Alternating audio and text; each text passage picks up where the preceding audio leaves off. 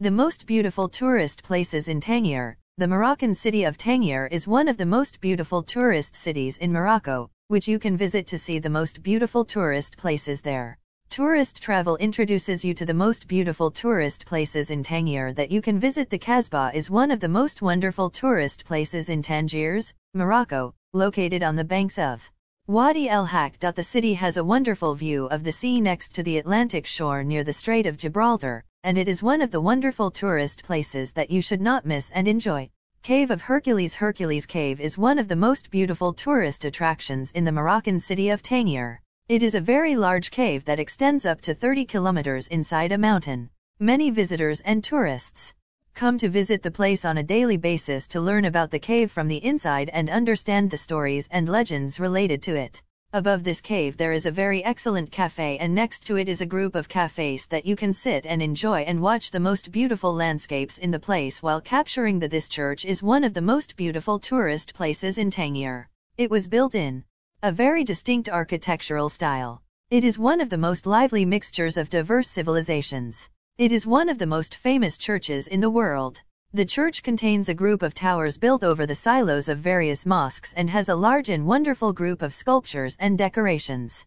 Beautiful place that you can enjoy watching. The Edge Cafe This cafe is one of the famous tourist places in Tangier, Morocco, and it is a place where celebrities of different groups and tourists come from anywhere in the world. This cafe was established in the early 20th century AD on a beautiful plateau overlooking the Strait of Gibraltar and is therefore a wonderful and enjoyable destination to have a cup of tea or coffee while enjoying the beauty of the landscape there. Ville Nouvelle City The city of Ville Nouvelle is one of the wonderful and beautiful tourist cities in Tangier. It was established in the late 19th century AD, and this new city contains a group of beautiful architectural buildings that were built in the latest style. You can head to the port in the city, which has a charming view of the Atlantic Ocean, and many artists and celebrities come to visit it. The city also has a very wonderful square where residents and tourists come from various places to stroll and enjoy sitting in one of the cafes there. Tangier Beach is one of the very beautiful tourist places in Tangier, which is one of the tourist attractions for tourists. This beach has been classified as one of the most important beaches in the world. This beach is a very suitable place for a fun summer vacation, where you can do many recreational activities there, most notably sitting and enjoying the sea view, playing football, and other fun water activities. Spardlehead Lighthouse This lighthouse is one of the wonderful tourist places that you can visit in Tangiers, Morocco. It is intended for tourists on an ongoing basis to enjoy watching the Atlantic Ocean and its beauty, especially during sunset, and you can take a group of the most wonderful memorial photos there. Asila Town The town of Asila is one of the most beautiful tourist attractions near Tangier, specifically in the northwestern part of the Atlantic Ocean. It has existed since the days of the Roman era. This town has a wonderful group of colorful buildings, all in blue and white, which gives the town a unified and wonderful view. The seafood that you can eat even while you are sitting on the sea wonderful and most beautiful souvenir photos that you can ever take. You can visit the cave on a daily basis from 9 in the morning until 8 in the evening. Tangier is one of the cities in northern Morocco, with a population of about 700,000 people according to the 2008 census. It is located on the northern coast of Africa at the western entrance to the Strait of Gibraltar, where the Mediterranean meets the Atlantic Ocean. It is the capital of Tangier Tetouan. The oral legend circulating among the people in the city of Tangier says that after the flood Noah's Ark lost its way while looking for land, and one day a dove landed on the ark with some mud in its legs. Hence, the area was called Tangier. As for the Greek myth, it says that Anti was the son of Poseidon and Gaia, and he was attacking travelers and killing them, and he made of their skulls a temple that he gave to his father, and he named his kingdom the name of his wife.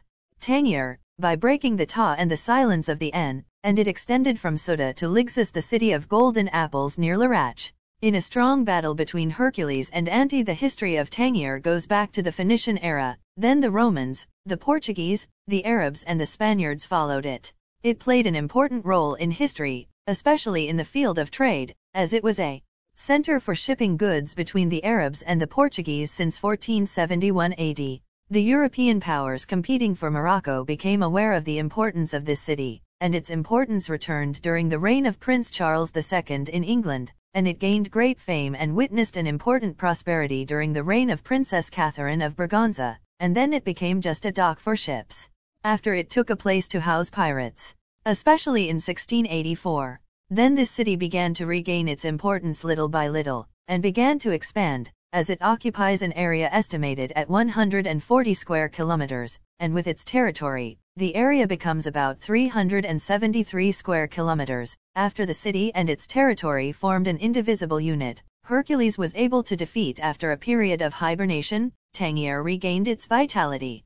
With the launch of the Islamic invasions of Andalusia by Tariq bin Ziyad in 711, and then by the Almoravids and the Almohads who made Tangier a stronghold to organize their armies and campaigns. After that, Tangiers were subjected to periods of Spanish, Portuguese, and English conquest since 1471 to 1684, which left their imprints present in the old city, such as walls, towers and churches. But, the most important cultural and urban phase in Tangier's medieval and modern history remains the period of the Alai Sultans, especially Muley Ismail and Sidi after its retrieval from the hand of the English invasion in 1684 during the reign of Muley Ismail. Tangier regained its military, diplomatic, and commercial role as a gateway to the Mediterranean countries, and thus knew a huge urban influx, so walls, forts, and doors were built. Religious and social life flourished. Mosques, palaces, fountains, baths, and markets were built, churches, consulates and large homes for foreign residents were built. Tangier became a diplomatic capital with 10 consulates in 1830, and an international city where merchants and adventurers flocked from all over as a result of the tax privileges it enjoyed Muhammad bin Abdullah. Him, and Tangier is located on a small bay on the shore of the Atlantic Ocean, at the southwestern end of the Strait of Gibraltar separating Africa and Europe, and this made it a port and a small sea window on this strait. Tangiers by the railway coming to it from the city of Fez from the south. Tangiers today is a commercial, agricultural, cultural and industrial city. It has an important and free commercial port since 1962 AD, and it has many factories, institutes, tourist facilities and parks. In the past, it was one of the most important cities, described by Ibn Hawqal, who said, It is an eternal city whose traces are visible. Its construction is made of stones, standing on the sea, and it is inhabited by a mile from the sea. Its source is based on the truth, and it is fertile, and between Tangiers and Ceuta is one day, and its work was the journey of a month in the same period, and it is the last African border, and between it and Kairouan there are 2,000 miles it extends over a length of 2,200 m, encircling the five neighborhoods of the ancient city, the Kasbah, Dar al-Barud, Jinan Kabtan, Wadi a and Bani Idar. The city walls were built in several stages, which are very likely built on top of the Roman city walls Tingis.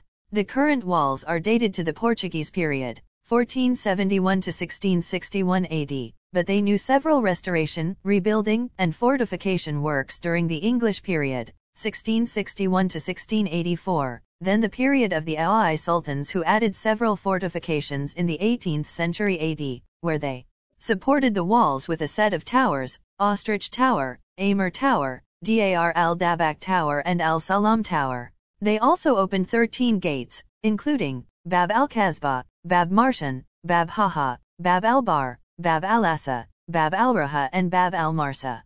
Kasbah Gilan, it is located on the right bank of Wadi el-Halak, on the road leading to Malabata, east of the ancient city. It was built around 1664 AD, and its name is associated with the name of Al-Qadr Galen, the leader of the Islamic Jihad movement against the English colonialism, who occupied the city of Tangier between 1662 AD and 1684 AD. The castle has a tight defensive system, consisting of two quadrangular walls fortified with two semicircular and prominent towers, in the middle of which is a huge urban door. The Kasbah Palace, or Dar al-Maksan, this building occupies a strategic position on the eastern side of the Kasbah. It is very likely that it was used during other periods of ancient history. The Kasbah Palace or the Palace of Sultan Muli Ismail was built in the 18th century AD by Pasha Ali Ahmed al-Rifai on the ruins of the English fortress Upper Castle. It contains a set of basic facilities, the Big House, the House of Money, the mosque, the shura, the prisons, the goat's house and the riyadh. In 1938, the building was turned into an ethnographic and archaeological museum for Tangiers and its region. The Great Mosque, close to the interior market is the Great Mosque. It was converted into a church during the Portuguese colonial period. After its restoration in 1684 AD, it was known for several restoration and expansion works during the Alai period. This parameter is distinguished by its splendor and the richness of its decorations, as all the arts of decoration were used in it, such as mosaic, glaze, dyeing, engraving, carving and writing on wood and gypsum. The Great Mosque contains a prayer house consisting of three galleries parallel to the Qibla wall and a courtyard surrounded on each side by two porticos. Thus, it is considered a model for the Alawite mosques known for their simplicity. Al-Jadida Mosque, it is also known as the Isawa Mosque and sometimes as the Palm Mosque. It is located in front of the Al-Zawiya al-Isaiya on the Al-Shurafa Street. The mosque is distinguished by its minaret with mosaic decorations. Kasbah Mosque, it is located in the street of Ben Abo. It was built in the 18th century AD by Pasha Ali Ahmed al-Rifai. The American Embassy, this building is considered the first institution that became owned by the United States outside America, after it was gifted to it by Sultan Muli Suleiman I in 1821 AD. After it was used as an American embassy in Morocco for 135 years, it was vacated for a period until the year 1976 AD, when it became a museum of contemporary art. The building contains a central courtyard reminiscent of the Spanish Moorish architecture, surrounded by a group of halls dedicated to displaying a group of paintings completed in Morocco during the 18 and 19 centuries AD. It also has a general locker for English books, a locker specialized in the history of the Maghreb, and other rooms for study and research, in addition to being a suitable space to host a range of cultural and musical activities in the city. The Spanish Church, after the building spent a period in the ownership of two Jewish families during the 18th century AD, it was bought by Sultan Muhammad bin Abdullah around 1760 AD. It was donated to the Swedish government to establish its first consulate in 1788 AD. In 1871 AD, the Spanish ruler took advantage of it to make it a residence for the Catholic mission, so he built a large church in it which he called La Purissima on the Lady Mary, the Mother of Christ. But about 30 years ago, and because Christians no longer frequented the church much, the institution became concerned with various social activities. Currently, only the top of the main staircase remains of the building. This museum was newly built in 1990. The wing dedicated to permanent display is 276 square meters distributed over a foyer and five halls, in addition to a garden designed in the British engineering style. The museum building is considered one of the unique urban landmarks in Tangiers. It was built in 1898 in the British engineering style to respond to the requirements of the protocol, given that the building was the seat of the British Consul General in Morocco. It was necessary to combine durability, elegance and aesthetic design and engineering, and the display area is about 270 m at a height of 5 meters, its ceiling of wood covered with a false ceiling of engraved plaster covered with tiles of green wood.